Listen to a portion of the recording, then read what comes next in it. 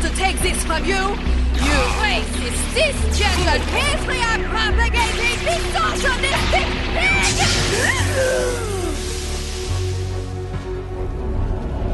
The funny thing is, In any other circumstance, you might have had a point there.